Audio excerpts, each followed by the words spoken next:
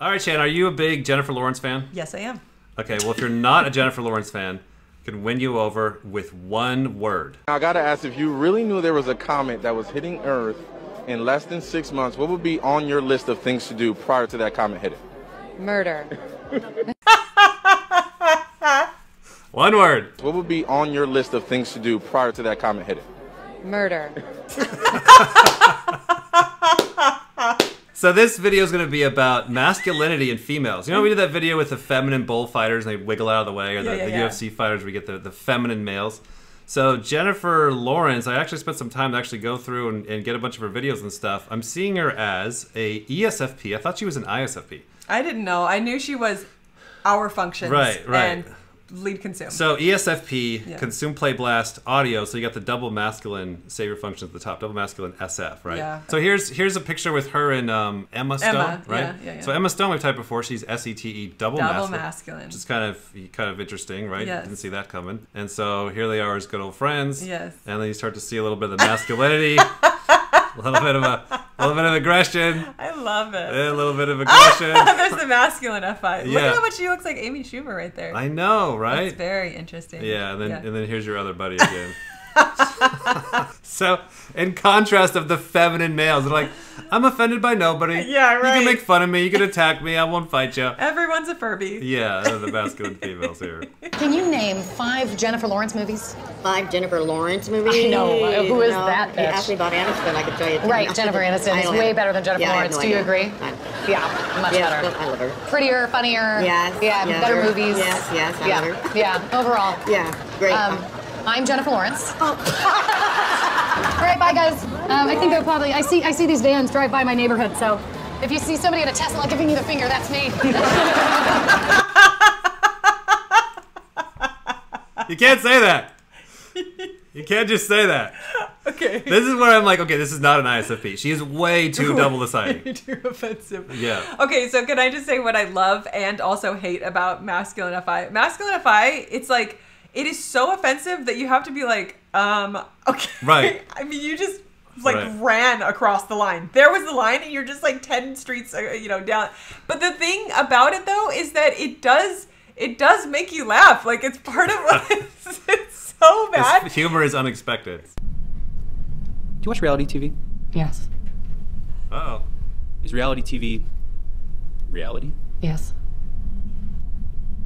Is Kim your favorite Kardashian? Oh.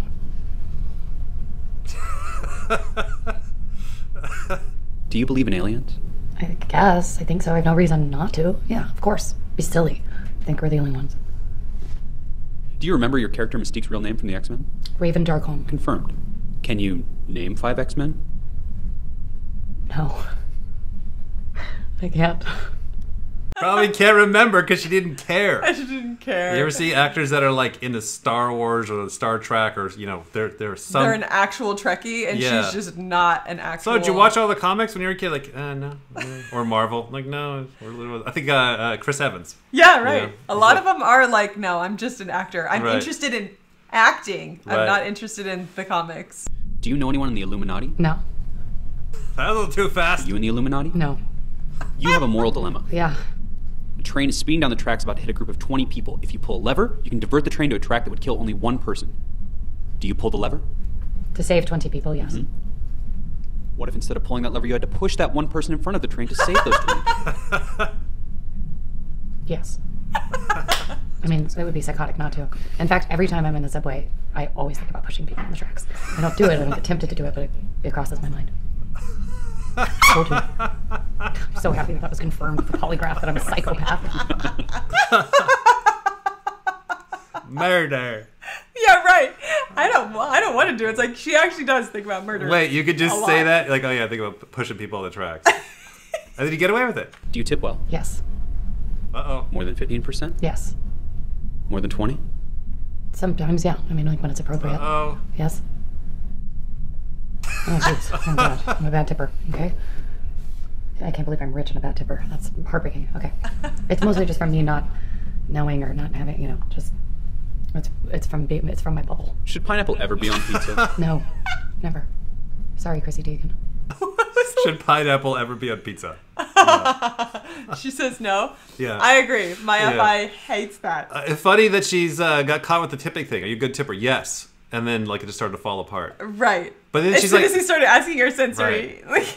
But then she started just like chatting it out. She's like, "Oh, it's because I can't work the thing, or I'm stuck in my what?" right, Right? A little bit of cognitive dissonance, right? right. You But like, good for her for like that was double deciding. Instant, instant masculine FI. Yeah. Uh, I see myself first. I'm Right. This is my self perception, and I see that a lot. Uh, the IP struggle with that one a lot, where they they'll tell you who they are, and then they but they can't do what she just did, which is Work it out so fast. hold on, that's actually bullshit.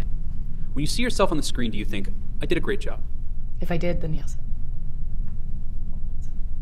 Have you ever had a Facebook account? No. Oh, yes. When I was younger, yes. Do you ever Google yourself? Yes. Are you afraid of anything? Yes. Are you afraid of this? Mm, that's one of them. I don't like those. You may remove the picture. And this? I'm not really scared of clowns. Unless, like, I'd be scared of the amount of fun I'm about to not have. I don't. I feel like I might be past the age where I can be entertained by a clown, except for Cam in Modern Family, when he pulled the giant clock out of his coat at the gas station and said, "Come on, we're late." that was funny. Was that really funny? Yes. Says me. Was that FI funny? Yes. I feel like it's the NESI coin that gets the clown thing a little bit too much. Yeah, the, Right. the the STJs seem to use clown for like this would be the scariest thing to me, so I'm Yeah. gonna I'm gonna dress up as a clown. Yeah, and the spiders too also seems to be on the NESI coin. I wonder if the guy has Oh, N- interesting. NESI and He's his like this'll scare her. clown sand in between your toes, a spider. Uh, Right. He should have shown her like the little girl from the ring, like some kind of dark, scary ghost. You That know? that would get her. Yeah. Yeah. Someone like this would be somebody to watch for if if this happens to be anywhere parts close to your type. Like this would be somebody to watch for someone who happens to be successful. Like she's making it with her functions, doing whatever she's doing, but just non-drama to hell. Yeah, non-drama. That's what I was seeing. Pro- Just God. processing in the moment, able to kind of sort things out and not feel stuck. That's a kind like I I I do not ha- I have like a white belt in non-drama. Like I see somebody like this and I'm like I don't know how you did that, but I got to get to that level of non-drama in my life.